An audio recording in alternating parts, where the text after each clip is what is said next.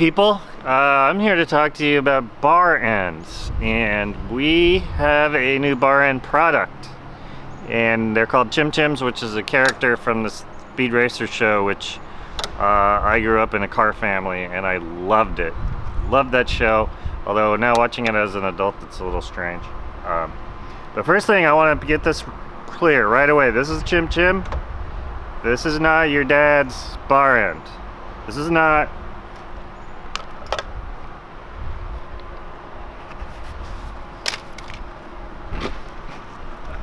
Shit, they just broke. Oh, wow. They're only about 40 years old. Okay. You want to start over? Keep going. Just keep going. There we go. Okay.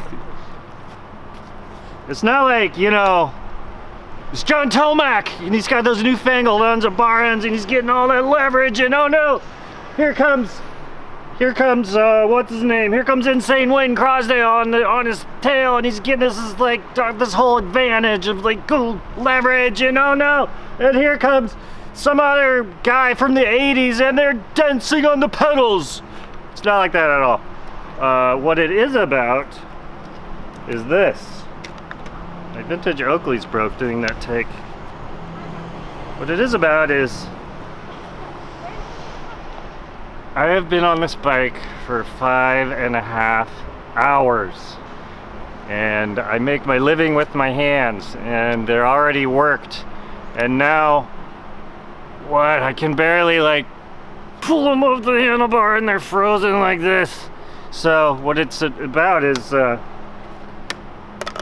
you just rotate out here. It's all about comfort. It's like uh, this nice ball is a great place to put the palm of your hand and it starts to stimulate different nerves than here and different muscles and blood vessels and so blood can get to those joints that are all frozen up. It's all about comfort. These are made for comfort, not for speed. Um, they have a lovely shape. Many jokes can be made about the shape, so that is fine. Uh, they're real easy to put on. There's a logo here that can be up or down. There's a right and a left. The angle is 15 degrees, so they'll work, work with almost all bars that are uh, flat bars that are not radically swept back. Got stainless steel T25 hardware on here. Um, one thing we did do is we put in a secret compartment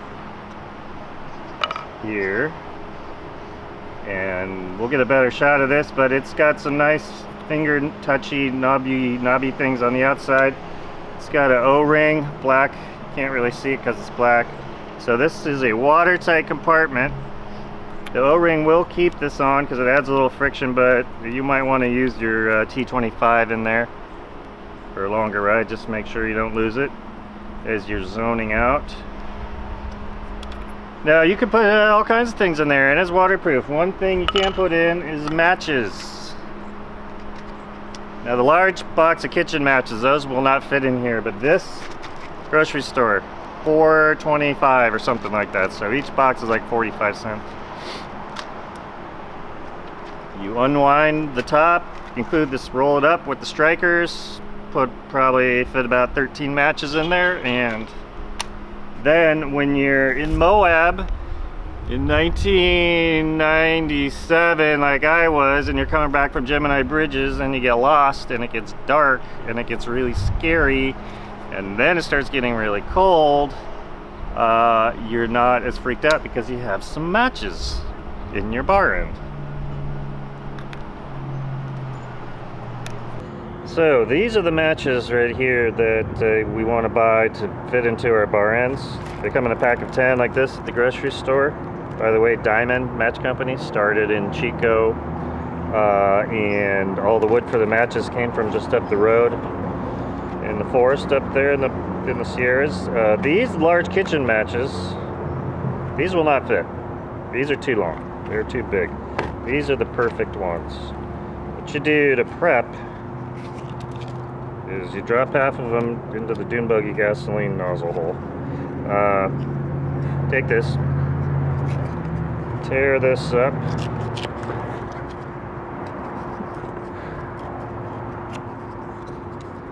fold it so the striker's on the inside. Flip that over or tear it off. Uh, then take your matches somewhere between 10 and 15, hold them in there. This slides into the bar end, which is watertight.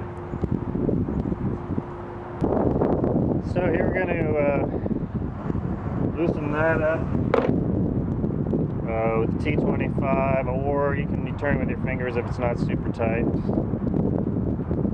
It's got an O-ring there. Keeps the secret compartment waterproof. Um, have to bend these a little bit. This is our strikers, both strikers folded so they're both protected by cardboard. They're not going to be rubbing on the aluminum or the match ends, which that might turn out to be exciting at some point. Uh, stuff matches in there. Looks like about 13 matches. Let's get this back on. You're good to go. You can use your imagination for the other side. So these are in stock. Uh, we've got them in silver, uh, black. I don't think we have any polished right now, but they will be available in polished, possibly purple, most probably purple, which will be pretty dang cool. Uh, on our website or from your local bike shop or uh, quality bike parts distributor. Uh, and if you try them, I think you're going to really like them. Uh, oh, one other thing I forgot. Actually, when climbing, this action, you know, when you've got the slow gait going and you're just sort of walking the bike up the hill, you're like boom, boom, boom. Oh my God, this hill's going on forever. When will it ever stop? This is like the hill from Forest Ranch to uh, Butte Meadows, just goes on and on and on. Um, so you cannot have to grip so hard and these kind of rotate in your palms and it's, it's actually uh, real nice to climb with these. All right. Uh, bye bye, TV land.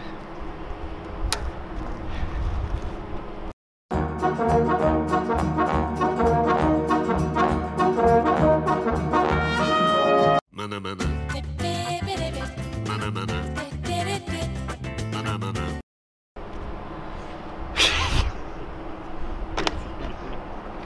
That's from something, isn't it? That's some goofy.